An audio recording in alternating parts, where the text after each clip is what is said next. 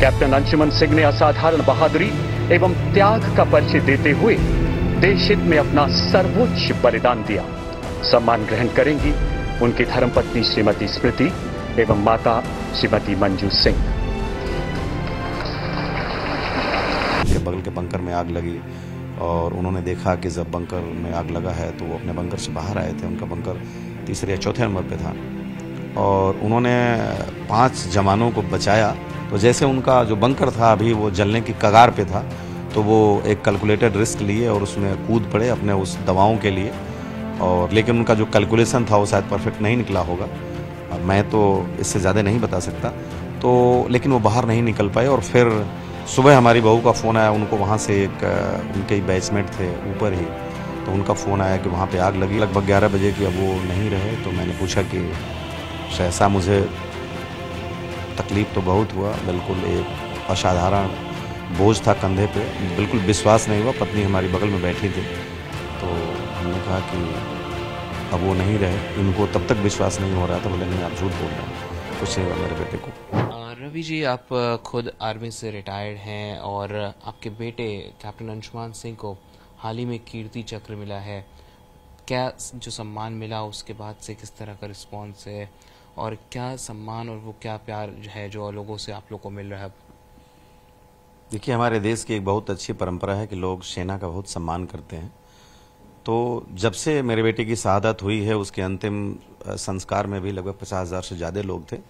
और राज्य सरकार का या केंद्र सरकार का जो सहयोग था या लोकल जनता का जो सहयोग है, वो बड़ा ही आदरणीय और रेस्पेक्टफुल रहा हमेशा।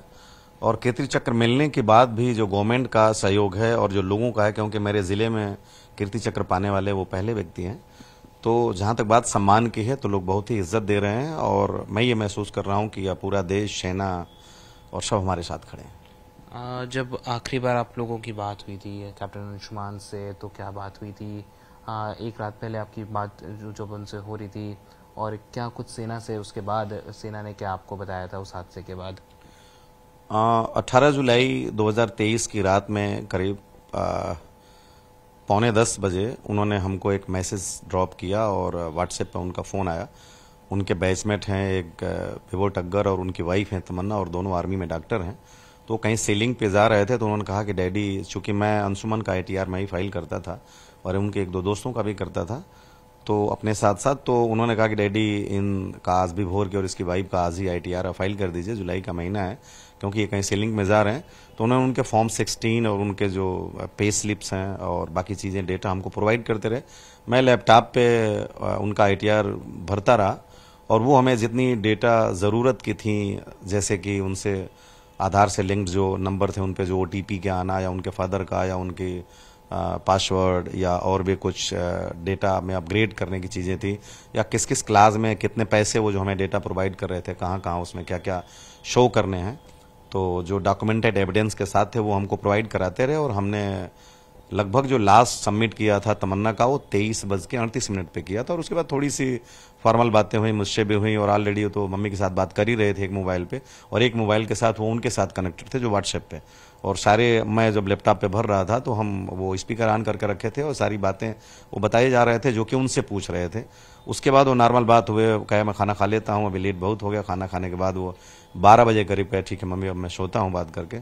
और उसके बाद ये ढाई या दो बजे के बाद आप कह सकते हैं, ढाई बजे के आसपास में जैसा लोग कह रहे हैं, शॉर्ट सर्किट से आग लगी और उनके बगल के बंकर में आग लगी। और उन्होंने देखा कि जब बंकर में आग लगा है तो वो अपने बंकर से बाहर आए थे। उनका बंकर तीसरे या चौथे नंबर पे था। और उन्होंने पाँच जवानों को बचाया, और बचाने के बाद उन्होंने देखा कि वो थोड़े से स्मोक इनहेल कर लिए थे, और थोड़े बहुत बर्न हुई थी उनकी, जो जवान थे। तो उन्होंने उनको ये सोचा होगा कि इनको हमारे क्रिटिकल जो इक्विपमेंट्स हैं, और जो दवाएँ थी, उनका होना बहुत आवश्यक है। तो जैसे उनका जो बंकर था, अभी वो जलने की कगार पे था तो वो एक कैलकुलेटेड रिस्क लिए और उसमें कूद पड़े अपने उस दवाओं के लिए। और लेकिन उनका जो कैलकुलेशन था वो शायद परफेक्ट नहीं निकला होगा। मैं तो इससे ज़्यादा नहीं बता सकता। तो लेकिन वो बाहर नहीं निकल पाए और फिर सुबह हमारी बहू का फ़ोन आया, उनको वहाँ से एक उनके ही बैचमेट थे ऊपर ही। तो उनका फ़ोन आया कि वहाँ पे आग लगी है, लेकिन वो कुछ क्लैरिफाई चीज़ें नहीं हो रही थी। तो मोबाइल वहाँ चल नहीं रहे थे, इनका नंबर लग नहीं रहा था। तो मैंने आर्मी के एक्सचेंज में फ़ोन किया, पुणे में और यहाँ लखनऊ में भी। वहाँ से जो जानकारी हम इकट्ठा कर पाए, four zero three field regiment वहाँ पे थी। और ट्वेंटी सिक्स पंजाब रेजिमेंट के साथ हो गए थे आरएमओ बन के जो कि पोस्टेड थे यहाँ पुंछ में बालनोई बटालियन में छब्बीस मद्रास के साथ, और एक ही हफ़्ते पहले गए थे। तो जब मुझे बताया गया लगभग ग्यारह बजे कि अब वो नहीं रहे तो मैंने पूछा कि शहसा मुझे तकलीफ़ तो बहुत हुआ, बिल्कुल एक असाधारण बोझ था कंधे पे, बिल्कुल विश्वास नहीं हुआ, पत्नी हमारी बगल में बैठी थी। तो हमने कहा कि अब वो नहीं रहे इनको तब तक विश्वास नहीं हो रहा था बोले नहीं आप झूठ बोल रहे हैं। कुछ नहीं हुआ मेरे बेटे को। मैंने पूछा जब मुझे बताया गया वहाँ से एक अधिकारी थे शायद एमजीजीएस करके कोई थे या कोई कर्नल साहब थे आ, मैं रिमेम्बर नहीं कर पा रहा हूँ। तो मैंने उनसे कहा कि ये बताइए कि मेरा बेटा वीरों की तरह से शहीद हुआ या कायरों की तरह से। तो मुझे बताया गया कि नहीं आपका बेटा बहुत वीर था और बहादुरों की तरह से चार पाँच जिंदगियों को बचाने के बाद अपने जीवन को बलिदान दिया तो मैंने कहा था कि कोई बात नहीं मैं जो खो चुका, वो वापस तो नहीं आएगा। लेकिन मुझे फ़ख्र है कि मैंने जो डॉक्टर समझ के, डॉक्टर बनाया था कि लोगों की ज़िंदगी बचाएगा तो अपने मौत के अंतिम सफ़र में भी, जीवन के अंतिम सफ़र में भी, वो लोगों की ज़िंदगी को बचाते हुए गया और वो एक बहादुर था वीर था, कायर नहीं था। जब कीर्ति चक्र के लिए कॉल आई तो क्या आप लोगों को बताया गया? जब उनको कीर्ति चक्र छब्बीस जनवरी को जब नोटिस आई, कीर्ति चक्र मिला, उसके बाद कॉल आई तो क्या बात हुई? और जब आप लोग राष्ट्रपति भवन गए तो कैसा वहाँ पे सम्मान मिला और क्या बातें हुई? देश के बड़े नेताओं से भी आप लोगों की मुलाकात हुई उस दौर में। हाँ जब 26 जनवरी से पहले ही 25 जनवरी को जब अनाउंस हो गया था कीर्ति चक्र तो माननीय रक्षा मंत्री जी का फ़ोन आया हमारे पास बधाई देने के लिए कि आपके पुत्र को कीर्ति चक्र मिला। चूँकि वो हमारे यहाँ के सांसद भी हैं और मुझे सौभाग्य से दो बार उनसे मिलने का अवसर भी मिला है। मैं जब भी माननीय रक्षा मंत्री जी से मिला तो मुझे ऐसा महसूस नहीं हुआ कि मैं भारत के रक्षा मंत्री से मिल रहा हूँ। मुझे ऐसा लगा कि मैं अपने बड़े भाई से मिल रहा हूँ और उन्होंने ये इतना एक हेल्दी माहौल एटमॉस्फेयर क्रिएट किया कि लगा ही नहीं और बिल्कुल भोजपुरी में या हिंदी में जिस भी भाषा में हम वो अपनत्व को ये करने के लिए उन्होंने भोजपुरी का भी इस्तेमाल किया। और आ, ऐसा लगा कि मैं किसी नेता के पास नहीं बल्कि अपने बड़े भाई के पास आया हूँ तो उनका पहला काल आया था। और शहादत के बाद भी उनका काल हमारे पास आया था और तमाम और गवर्नमेंट ऑफिशियल्स के जिसमें चीफ ऑफ़ स्टाफ के और जो आर्म फोर्सेस के जो मेडिकल के हैं, उनके डीजीएमएस के भी तमाम लोगों के फ़ोन आए थे। तो उस दिन मुझे और बधाइयाँ आने लगी कि मुबारक हो एक बहुत बड़ा जिसमें छब्बीस पंजाब के शीओ के, उनके अर्जुन के या मद्रास रेजिमेंट के। तो जो भी लोग थे, जिनके पास नंबर थे सबने अपना ये किया। जब हम अभी गए हैं यहाँ पे राष्ट्रपति भवन में तो मेरी रक्षा मंत्री से फिर मुलाकात हुई और आर्मी के तमाम बड़े बड़े जो अधिकारी हैं सीडीएस या vice chief of army staff, chief of army staff, इन्होंने सबने बहुत इज़्ज़त से और बड़े, एक डेकोरम को मेंटेन करते हुए एक इज़्ज़त के साथ हमें वो पूरी इज़्ज़त बख्शी, जो कि एक कृति चक्र विजेता के परिवार को मिलनी चाहिए या जो होता होगा। लेकिन मुझे ऐसा लगा कि नहीं, मुझे उम्मीद से ज़्यादा और हर कदम पे सरकार हमारे साथ खड़ी थी। कल आप लोग रायबरेली में थे। ना सिर्फ़ देश के बड़े नेता, लेकिन जो विपक्ष के भी नेता हैं, राहुल गांधी। कल आप लोग की उनसे भी मुलाकात हुई। कीर्ति चक्र मिलने के बाद वो पहली मुलाकात थी तो क्या कुछ चर्चाएँ हुई राहुल गांधी से कल? अच्छा कीर्ति चक्र मिला था और मिलने के लिए भी यही था कि सम्मान देना था उनको और इज़्ज़त बख्शने के लिए ही कोई अपने पास बुलाता है, कुछ अपनी बातें रखता है, कुछ वो अपनी बातें रखते हैं। तो कुछ डिस्कशन चली अपनी दर्द भी मैं बताई। ये सब चलता रहा बाकी कुछ थोड़ा बहुत डिस्कस ऐसे नॉर्मली बातचीत होती रही। तो कुल कितनी देर बात हुई होगी राहुल गांधी से? कल आप लोग कितनी देर मुलाकात हुई? आधा पौन घंटा बात हुई थी। आधा पौन घंटा। हाँ। और किन किन मुद्दों पे बात हुई कल राहुल गांधी से आप लोग की? बात तो हम अपने लिए ही किए ज़्यादा पर कुछ कुछ बातें होने लगी तो ऐसे बात निकलने लगी तो बात चल ली। अच्छा कल कल आपने एक बयान दिया था अग्निवीर को लेके कि जो अग्निवीर योजना है, उसमें सभी को एक समान जो है, जितने भी सोल्जर्स हैं, सबको एक समान जो है सम्मान मिलना चाहिए।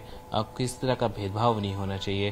तो क्या ऐसे भी कोई ज़िक्र आप लोग ने राहुल गांधी से भी किया था? हमें क्वेश्चन पूछा गया मीडिया वाले क्वेश्चन पूछे तो अपनी में एक अपनी पॉइंट रखी, जो कि एक होता है ना कि हम जब सब्ज़ी खरीदने जाते हैं तो सब्ज़ी ले लेते हैं, फिर हम बोलते हैं कि थोड़ी हरी मिर्च डाल दो।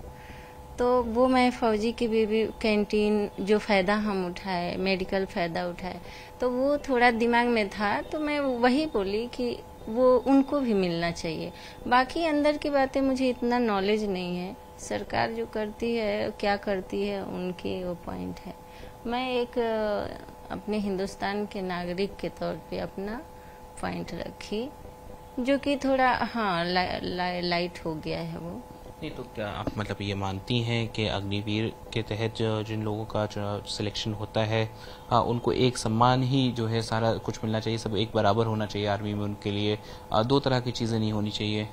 हाँ तो दो तरह की तो नहीं होनी चाहिए पर क्या क्या उसमें अलग है, मुझे उतना पता नहीं था। पर इतना ही था कि जो मैं सुनती हूँ, जैसे कभी न्यूज़ में हो देखो तो लगता है कि पेंशन होनी चाहिए, फैसिलिटी होनी चाहिए तो उस पर ही मैं मैं बात की।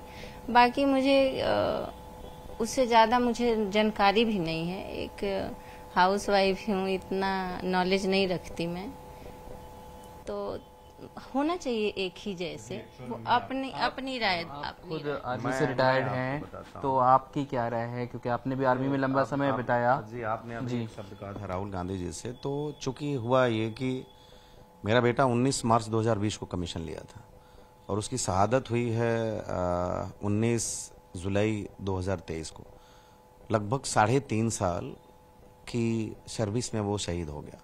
तो जैसे राहुल गांधी जी से ये बात हो रही थी कि कब कमीशन लिया, कितने दिन सर्विस रहा, कैसे आपका परिवार कहाँ, कैसे, ये नॉर्मल बातें थी। तो उसमें जब साढ़े तीन साल शब्द आया तब उन्होंने बरबस एक बात हुआ कि चार साल में तो देखिए अग्निवीर भी तो आप लोगों को क्या क्या कैसे? तो उसमें ये बातें निकल के मतलब थोड़ी सी जो आई थी कि जो आज मेरे बेटे साढ़े तीन साल में है जो पे पर्क्स एंड जो प्रिविलेज और जो फैसिलिटीज़ एक रेगुलर आर्मी के तौर पे उसको मिला, मैं जितना समझता हूँ कि शायद कदाचित कोई अग्निवीर को इतना नहीं मिलता जितना कि एक रेगुलर आर्मी को मिला। तो ये एक डिस्क्रिमिनेशन जो महसूस हुआ, वहाँ थोड़ी सी थी। उन्होंने फिर उसके बाद डिस्कोर्स बात का बदल गया कि मैंने भी खोया अपने पिता को, अपने दादी को, आपने भी अपने पुत्र को खोया। तो पूरा राष्ट्र आपके साथ खड़ा है, सेना आपके साथ खड़ी है, सरकार आपके साथ खड़ी हम आपके साथ खड़े आप अपने आप को अकेला ना समझें। तो अब आपने कहा कि अग्निवीर की आपकी क्या राय है? तो देखिए, ये एक बड़ा ज्वलंत मुद्दा है। और मैं इस पे आधिकारिक तौर पे शायद कुछ कहने की हैसियत नहीं रखता मेरी सलाहियत भी नहीं है। लेकिन बींग एक्स फौजी मैं इस पे अपनी ओपिनियन रख सकता हूँ हो सकता है कि ओपिनियन गलत हो। मैं नहीं कहता कि ये ओपिनियन एक्सेप्टेबल है क्योंकि आज की तारीख में जो आ, हमारी जो आदरणीय सेना है उसकी एक अपनी लिगेसी है।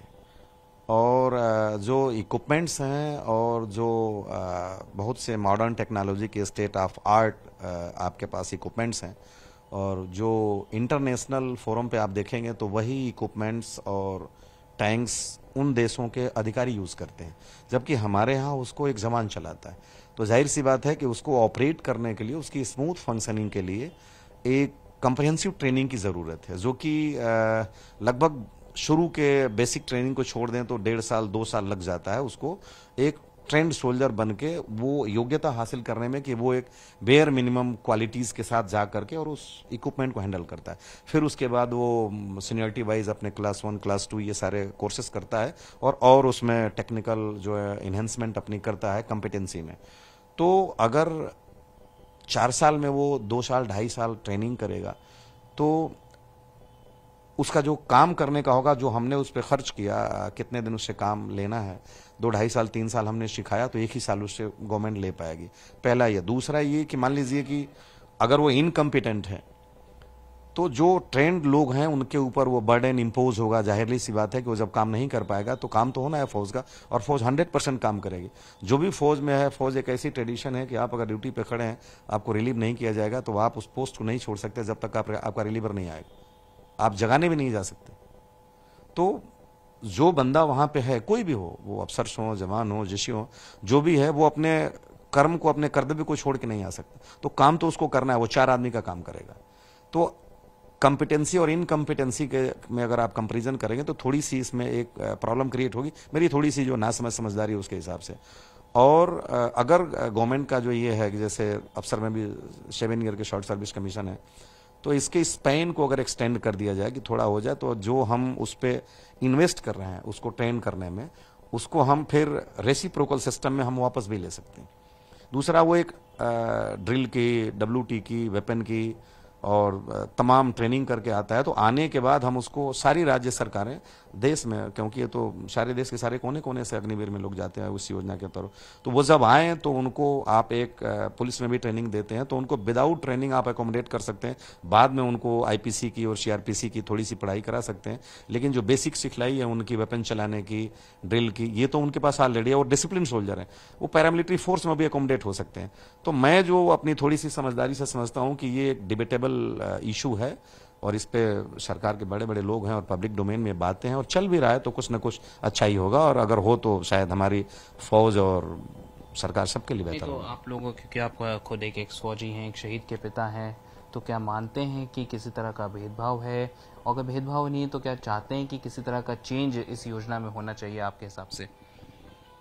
देखिए भेदभाव करने का गवर्नमेंट का कोई इरादा किसी के साथ नहीं है। कि कोई भेदभाव अफसर्स भी सेवन ईयर्स के बाद आते हैं तो उनको कोई पेंशन नहीं मिलती है, शॉर्ट सर्विस कमीशन के बाद। तो देश के विश्व के और भी देशों में है, लोग चार चार साल, पाँच पाँच साल करते हैं मैंडेटरी सर्विस करते हैं। इसराइल है, चाइना है, जहाँ तक कुछ और भी कंट्रीज़ हैं। तो हमारे यहाँ और उसमें 25 परसेंट लोग तो ऑलरेडी इनटेक में रह रहे हैं। 75 परसेंट लोग वापस आ रहे हैं। तो ऑलरेडी एक जो हम मैन पावर ट्रेंड कर रहे हैं तो एक लेगेसी चलती रहेगी उसमें। यह है कि अगर उसमें से इनटेक का परसेंटेज कुछ बढ़ जाए और चार साल की बजाय अगर सात साल, आठ साल जो अफसर के तौर पर हो जाए तो दोनों तरह से हम उसका जितना हम निवेश कर रहे हैं, उसके मतलब प्रपोशन में हम वापस ले सकते हैं। देश उससे बहुत ज़्यादा बेनिफिट ले सकता है। और उसको भी जो एक अग्निवीर के तौर पे चार साल के लिए गया उसको लगेगा कि नहीं मेरी लाइफ यहाँ है और मुझे मेरे पीछे भी लोग देखने वाले हैं तो अपना हंड्रेड परसेंट अपना सर्वोत्तम देगा और जो उसको सिखलाई दी गई है और वो निश्चित रूप से अपना अच्छा काम करेगा। तो ये मतलब मानते हैं कि भेदभाव नहीं है लेकिन एक जो सर्विस पीरियड है उसको बढ़ा देना चाहिए सरकार को। डेफिनेटली हाँ, कुछ सर्विस पीरियड बढ़ाना चाहिए और इनटेक का भी जो 25 परसेंट है उसको बढ़ा दिया जाए तो ये तारतम्य ठीक होगा क्योंकि देखिए हमारे यहाँ क्या है कि साठ हज़ार फौज रिटायर होती है पर ईयर और मैं एग्जैक्ट डाटा तो नहीं कह सकता, लेकिन कोई बयालीस, तिरालीस हज़ार या पैंतालीस हज़ार के आसपास में अग्निवीर से परी और तीन साल तो उसमें कुछ हुआ नहीं। तो जो ये बीच में टिथ टू टेल रेशियो में थोड़े से जो कम हुए हैं तो वार डॉक्ट्राइन के हिसाब से लड़ाई one race two three and one ratio ten, nine के हिसाब से जब आप पहाड़ों में जाते हैं तो आपको एक दुश्मन को मारने के लिए नौ व्यक्ति चाहिए। जब वो नीचे से आप पहाड़ के ऊपर है, प्लेन में आप तीन गुने जाते हैं। तो जब हम सारी चीज़ें मॉडर्नाइज ज़रूर हो जाएँगी, लेकिन अल्टीमेटली इन्फेंट्री और इसकी आप कमी को पूरा नहीं कर सकते। तो ये इतिहास साक्षी है इस बात का। तो अगर इसमें इनटेक की परसेंटेज कुछ बढ़ जाए और थोड़ी सी टेन्योर बढ़ जाए तो ये बेनिफिशरी होगा देश के लिए भी और मैं जितना समझ सकता हूँ एक्स फौजी के नाते तो ये बेहतर विकल्प हो सकता है। बैठे हैं, बातचीत कर रहे होंगे इस पर ज़रूर कुछ ना कुछ अच्छा ही होगा। अच्छा आपने अभी ज़िक्र किया, अपने बेटे का, बताया कि यहाँ पे मूर्तियाँ भी लगने जा रही हैं, कैप्टन अंशुमान की, क्या प्लानिंग है? कीर्ति चक्र अवार्डी हैं, किस तरह से लखनऊ और उत्तर प्रदेश की शान अंशुमान बनेंगे? देखिए, माननीय योगी जी का जो सहयोग रहा है, हमारे परिवार के साथ बहुत आला दर्जे का रहा है। मैंने जो कहा था तो उनकी शहादत के दिन ही 50 लाख रुपए यूपी सरकार ने जो अनाउंस किया था, वो 50 लाख रुपए उनकी डेड बॉडी पहुँचने से पहले ही गवर्नमेंट ने हमें, हमारे खाते में क्रेडिट कर दिया। 35 लाख हमारी बहू को और 15 लाख पेरेंट्स को रेस्पेक्टिवली जो एक सड़क का नामकरण का उन्होंने घोषणा किया था, वो हमारे गाँव से होता हुआ एक दस किलो नौ किलोमीटर की सड़क है अन्य जिला मार्ग है, उसका भी नामकरण अक्टूबर में माननीय राज्यपाल महोदय के अधिसूचना से हो गया, नामकरण भी हो गया। हमारे गाँव में एक प्राथमिक स्वास्थ्य केंद्र है, उसका भी नामकरण करने के लिए योगी जी ने आदेशित कर दिया है और वो हमारे जो स्थानीय सांसद थे माननीय रविंद्र कुशवाहा जी और विजय लक्ष्मी गौतम जी, जो मंत्री हैं, राज्य मंत्री हैं देश के, वो भी हमारी जो प्रतिनिधि हैं एमएलए की तो उन्होंने इसको मांग की थी। और उसमें यह था कि वहाँ का जो प्राथमिक स्वास्थ्य केंद्र है बींग ए डॉक्टर उसका नामकरण सहित के अपना डॉक्टर अंशुमान सिंह प्राथमिक स्वास्थ्य केंद्र किया जाए, उसकी जो सेवाएँ हैं थोड़ी इन्हेंस कर दी जाए। तो इसको माननीय मुख्यमंत्री जी ने नोटिस किया एक्नॉलेज किया और इन्होंने एक तरह से ये कहें कि आदेशित किया कि नहीं ये किया जाए। और फिर अभी मेरी बात हुई थी जो यहाँ की महापौर हैं और जो इंद्रजीत सिंह जी हैं, यहाँ के आप क्या कह सकते हैं, कमिश्नर हैं नगर आयुक्त तो उन्होंने ऑलरेडी चीफ इंजीनियर को लगा रखा है और वो पीडब्ल्यूडी से कोऑर्डिनेट करके और ये बुद्धेश्वर चौराहे पे यहाँ पे एक बस लगाने का चल रहा है। बस का बन गया यहीं बाराबंकी में। अब वो लगाना है। तो बाकी चीज़ें चल रही हैं।